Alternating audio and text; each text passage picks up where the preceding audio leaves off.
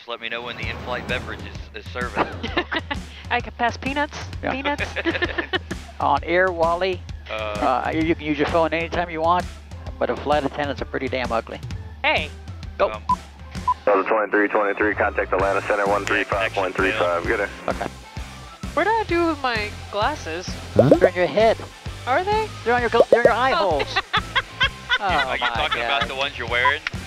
No chicle for you? No, no for me. I don't like it when I go upside down. It goes in my nose instead. What? Yes. Hmm.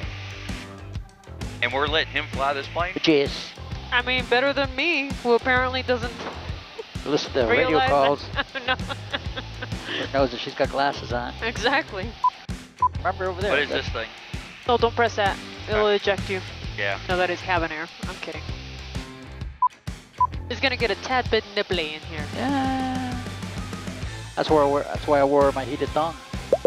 I'm not stupid. A heated thong? Yes. That doesn't cover anything. Well, I wear it backwards. Is it gonna make my nipples hard? Is that kind of cold? I don't know. We, I can- don't- we might be able to use it as a shower rack. might be able to. Wow. Yeah. oh. Brrr. There you go. How's that? Brrr. Feel what are you doing over there? Give some heat. I'm getting warm. I'm giving giving uh, my natural heat, my natural Guatemalaness. What? Number 78 Tango, maintain VFR at or below 5,000. I'll get you higher in about 30 miles. I'll get you high too. Thank You you know where I got the, my money to finish my license? Where? I was dancing at the gay nudie bars.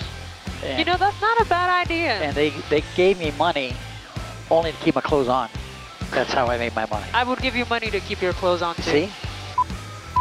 We thank you for flying Air Walter. It's Air Wally. Air, Wally. I'm sorry, Air Wally. Damn it, I'm a terrible flight attendant. you're supposed to say where we allowed you to use your cell phones at any altitude, but our flight attendants are pretty ugly. But I'm not ugly. I'm just a terrible flight attendant. So you just say in overall, our flight attendants are pretty terrible. Oh, and overall, our flight attendants uh, need a shave.